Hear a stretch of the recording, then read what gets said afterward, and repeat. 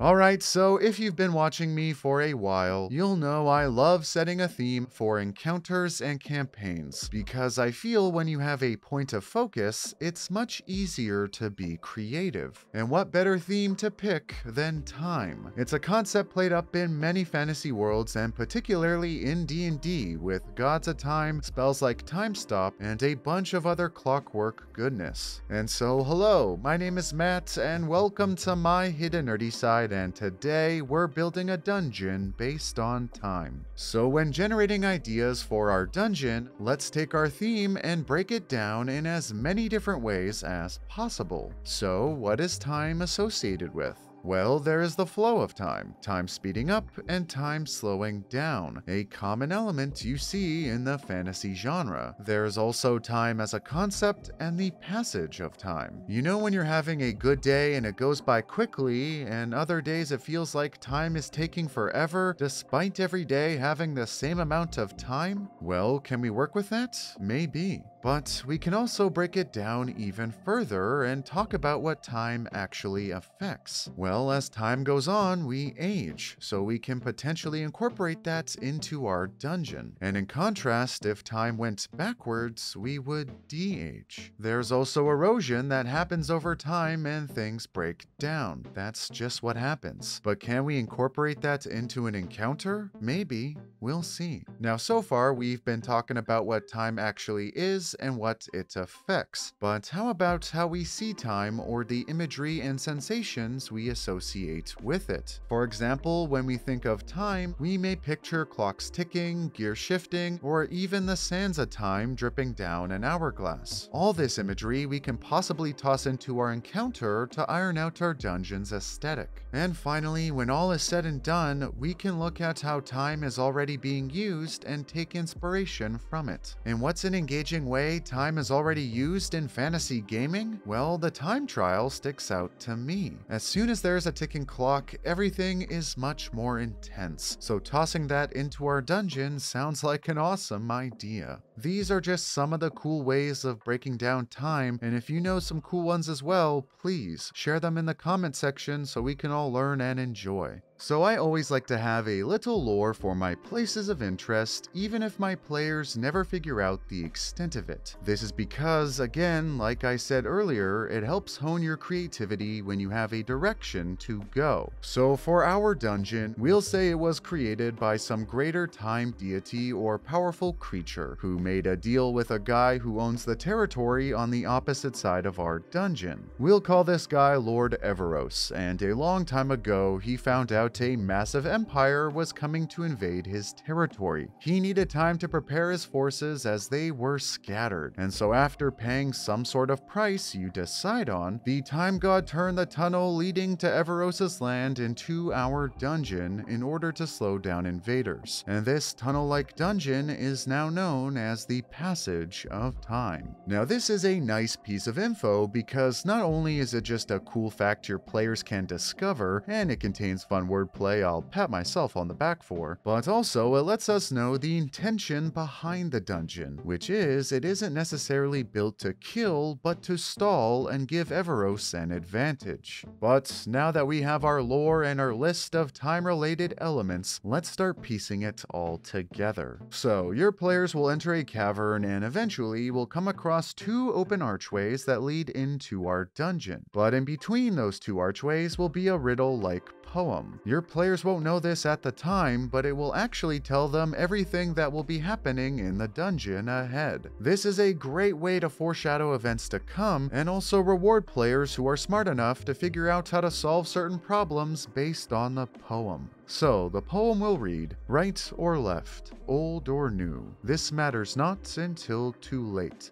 Up down, around and around, fast and slow is your fate. Gears will shift, metal will fly, and eventually you will learn. Before you stands a river of sand, and to it you shall return. Build yourself up from what you are to carry on to the next. Some may die and some may live, but all will be vexed. The clock will tick and tick and tick until 60 hands have passed, and if you're not out by then, what you are shall forever last.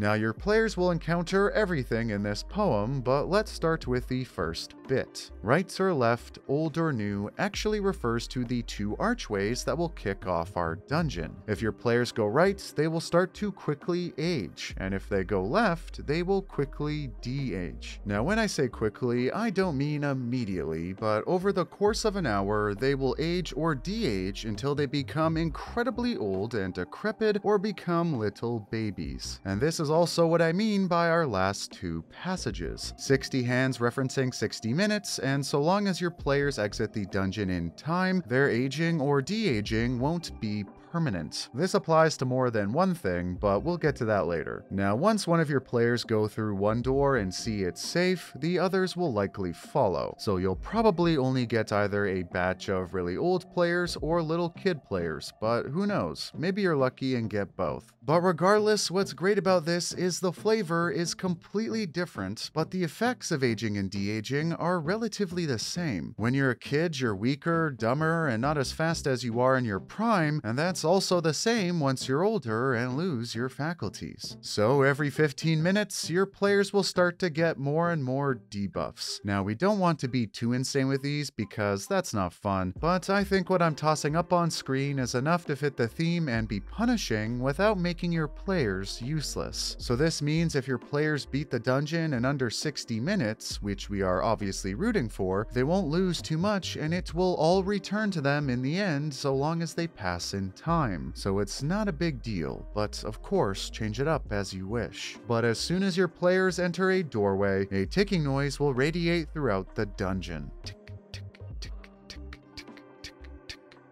Your players will now literally hear a ticking clock and it will make everything feel much more intense, since they now know they're being timed for something that's most likely not good. And now our one hour time trial has commenced. Now if we go to this line, fast or slow is your fate, this is because every minute your players will change from being under the effects of the haste spell to the slow spell and back and forth back and forth. This is just a bit of randomness to help emulate the feeling of time speeding up and slowing down that will be funny to see play out. And if you wanted to get even crazier, you could even have them switch back and forth every round. It's a lot to track, but if you can pull it off, why not? So the ticking will begin and your players will be zipping or crawling around as they see nothing but blackness in all directions except for the path ahead of them. They will see a series of different colored gears stretching hundreds of feet long. The gears will be either gold, silver, or bronze, and there will also be three sets of levers at the beginning, middle, and end of our path.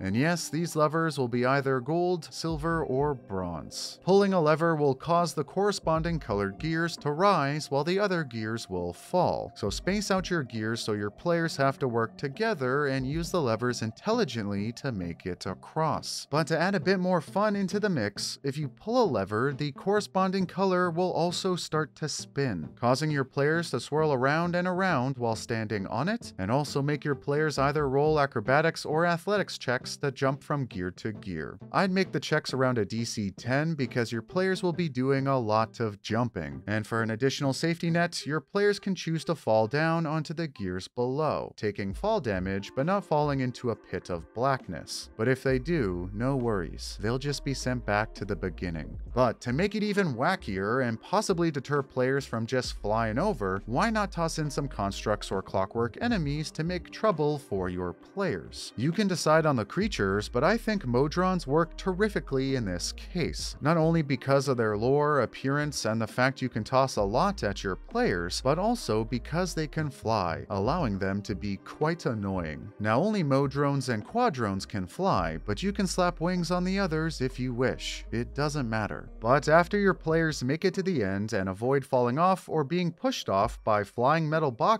they will see a waterfall of sand falling from so high they cannot see its origins and going so low they can't see the bottom. And now we move on to this passage. Before your players is the river of sand and they'll have to jump into into it to continue. But once they do, they'll be taken away by the river and notice their flesh is being ripped off their body, and then their muscle, then their bones, and everything else until they are nothing but incorporeal spirits and their gear falls to the ground. And then Then they'll reach the bottom and see nothing but a giant pit of sand and a doorway that has a blue aura surrounding it. If your players try and leave as spirits, the blue aura will stop them from doing so, which means they can only leave after rebuilding their bodies from sand, referring to the passage you see on screen. Many cultures reference people being built from either sand, earth, or clay, so this is just another piece of imagery that also creates a fun role-playing opportunity. Have your players roll sleight of hand checks to determine how accurately they build themselves back together and also how quickly they do so. Seeing how your players rebuild themselves and how badly they mess up will be a hilariously good time. But don't worry, this will also be reversed once they make it out. And also, the sand will magically move to fill certain gaps, so your players are even capable of doing this in such a short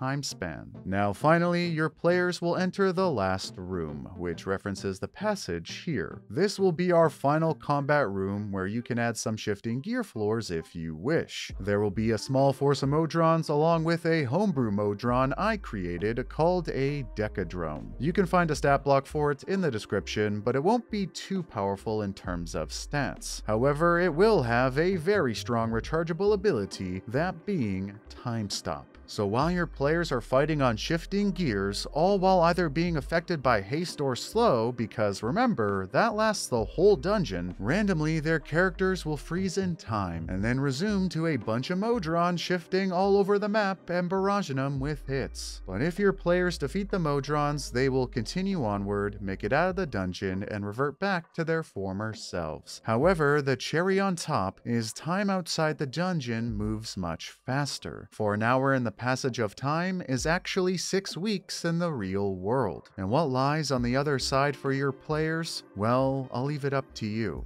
Now let's look at our list and see if we incorporated everything. Well, for the most part, yes, but we didn't use stuff like erosion, and that's okay, because we don't have to cram everything into a single encounter, so don't worry about that. As for what levels I think could run this, I think a group of 4 to 6 players level 7 to 9 could take this one quite well, but you could run this at lower or higher levels with a few adjustments. But with all the moving parts and crazy shenanigans, no matter what level you run this at, I'm sure your players will have an awesome time.